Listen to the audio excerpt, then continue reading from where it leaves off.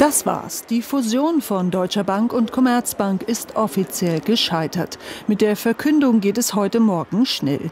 Gegen 10.30 Uhr kommt die Ad-Hoc-Mitteilung für die Aktionäre. Um 11.45 Uhr verkündet der Pressesprecher der Deutschen Bank. Wir haben uns die Chancen angesehen, wir haben uns die Risiken angesehen, die Ertrags- und Gewinnchancen, aber natürlich auch die Risiken, das heißt Kosten, das heißt der Integrationsaufwand, der damit einhergeht, die Kapitalanforderungen, und wenn man das alles zusammennimmt, wenn man dann einen Strich zieht, sind wir zu dem Schluss gekommen, dass wir die Gespräche beenden möchten.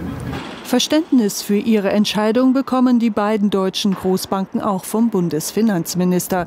Der hatte zwar immer die Wichtigkeit starker Banken betont, verkündet heute aber schriftlich, solche Kooperationen machen nur Sinn, wenn sie sich betriebswirtschaftlich rechnen und auf ein belastbares Geschäftsmodell zusteuern.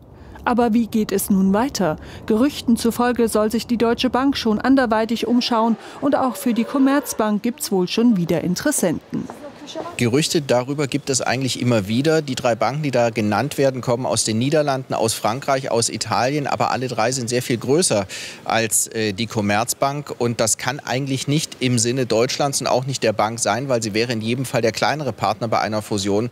Der Aktienmarkt reagierte gegen Mittag mit fallenden Kursen für die Commerzbank, die Aktien der Deutschen Bank hingegen stiegen.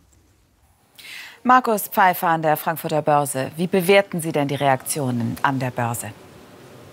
Ja, die Reaktion ist angesichts des Gesprächsabbruchs erwartbar gewesen. Die Aktien der Deutschen Bank, wir haben es ja eben gesehen, heute deutlich gefragt, aber nicht nur wegen der Absage der Fusion, die ja als sehr vernünftig angesehen wird, sondern vor allem auch, weil die Deutsche Bank schwarze Zahlen vorgelegt hat und zwar bessere als erwartet. 200 Millionen Euro sollen es sein im ersten Quartal.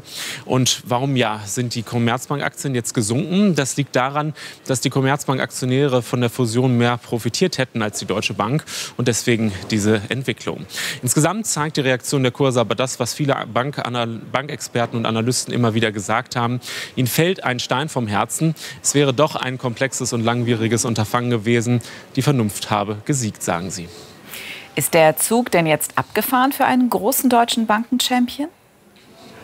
Ja, für einen großen deutschen Banken-Champion dürfte das erstmal jetzt durch sein mit der Absage der Fusion von den beiden großen Banken. Welche Banken sollten denn auch sonst fusionieren? Da gibt es neben der Commerzbank und der Deutschen Bank nicht so viele und zusammen waren sie ja auch nicht wirklich groß oder gigantisch. Viel größer hingegen ist die Chance, dass es möglicherweise bald europäische Banken-Champions gibt. Mehrere große Bankhäuser haben zumindest schon mal Interesse an Teilen von Deutscher Bank und Commerzbank angekündigt. So gab es ja Spekulationen, ob die DW DWS, die Vermögensverwaltungstochter der Deutschen Bank, womöglich mit der entsprechenden Sparte der Schweizer UBS zusammengeht. Und auf die Commerzbank haben bereits die italienische Unicredit und auch die niederländische ING ein Auge geworfen. Wie auch immer die Verhandlungen sich entwickeln, haben denn Deutsche Bank und die Commerzbank jetzt alleine auch noch eine vernünftige Zukunft vor sich? Naja, die Banken waren ja auch vorher ganz vernünftig. Sie haben als alleinstehende Geldhäuser agiert und auch ganz gut funktioniert. Das bleibt jetzt natürlich auch nach gescheiterten Fusionsgesprächen erstmal so. Beide Banken gelten als stabil und solide. Diese Einschätzung hat zum Beispiel die Bundesbank heute noch mal wiederholt. Aber natürlich haben beide Banken immer noch große Baustellen. Die Umstrukturierung von früher oder auch die Fusionen, die immer noch nicht verdaut sind. Und da gibt es ja dann bei der Deutschen Bank auch immer noch juristische Altlasten zu bewältigen. Der Kurs steht also weiter auf Restrukturierung und Reform. Reform. Und so könnte es auch weitergehen mit viel Geld und Arbeitsplätzen, die das Ganze kosten könnte. Schauen wir zum Schluss noch auf den DAX. Er ist relativ unbewegt, jetzt leicht im Minus bei 0,4 Prozent, 12.262 Punkte. Also hier an der Börse ist man eher entspannt, was die abgesagte Fusion angeht. Danke, Markus Pfeiffer aus Frankfurt.